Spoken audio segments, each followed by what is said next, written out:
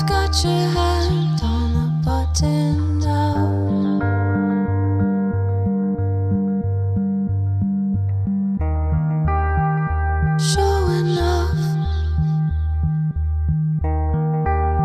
You've got your.